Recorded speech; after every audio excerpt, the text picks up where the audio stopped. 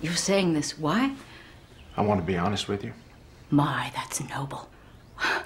What is that, from some script you auditioned for in the 40s? No, it's just me talking to you. I'm so grateful. Straight arrow, George. You, you go to New York and you fuck some whore and you run back to tell me. She's not a whore. But she's an actress. A singer. Does she blow smoke rings with a cunt?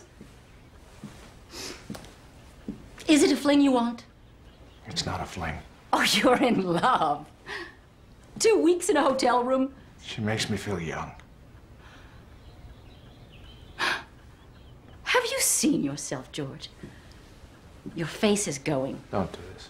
Here, Stop your it. eyes, your hair, your stomach. You think no one notices? Toni, don't do this. But you've got your projects, haven't you? You're going to be a director. You'll sit in your little canvas chair, polishing your balls. Thank God I'm rid of that hag I had to screw. What was her name? The one who paid for everything. The one who bought me a fucking house! God's sake. You want publicity? You'll get it. I'll say you're a red. A faggot.